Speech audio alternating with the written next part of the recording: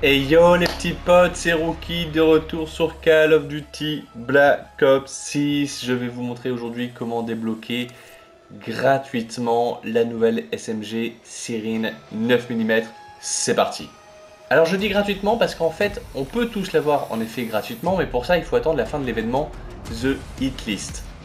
Et comme on peut le voir, euh, là ça va charger euh, tranquillement. La Sirine 9 mm c'est à la fin de l'événement quand on aura atteint, du coup, si on regarde bien, les 50 milliards de kills sur la communauté Call of Duty. Or là, on est à 22 milliards et quelques, donc à la moitié.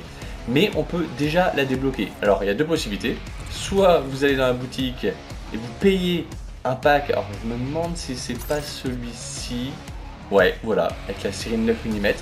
Donc 2800 euh, code points. Donc euh, ça fait pendant 30 balles. Ou alors la technique pour l'avoir gratos, c'est d'aller, et ça ça marche sur le multijoueur, sur Warzone, dans Zombie, vous allez dans les armes, attirail. Donc on va sélectionner la sirène 9 mm.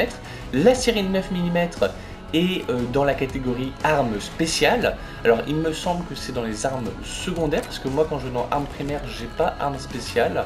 C'est peut-être parce que j'ai utilisé le Joker combattant artilleur, mais en tout cas dans catégorie armes spéciales. Quand on va sur les armes secondaires, on a la catégorie armes spéciales. On sélectionne, donc on fait choisir.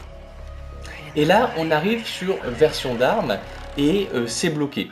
Et on voit tout en bas, équiper armes et ouvrir l'armurerie, c'est euh, grisé, on peut pas le faire, mais retenez bien euh, que je vais faire donc la touche carré quand je vais vous le dire. Et donc vous, il faudra que vous fassiez la touche qui correspond à équiper armes et ouvrir l'armurerie. Mais avant cela, on va aller dans boutique. Et c'est maintenant qu'on va faire donc cette touche carré. Pourtant, elle n'est pas proposée tout en bas quand on regarde, il y a juste affiché le pack et aperçu de l'arme. Mais on va faire touche carré maintenant. Et hop, on se retrouve sur l'arme. Alors certes, les accessoires sont verrouillés à niveau 1, mais si je fais retour, elle est dans mes accessoires. Et donc du coup, je vais déjà pouvoir la jouer. Là, on va dans le stand de tir. Et j'ai bien la sirène 9 mm en main.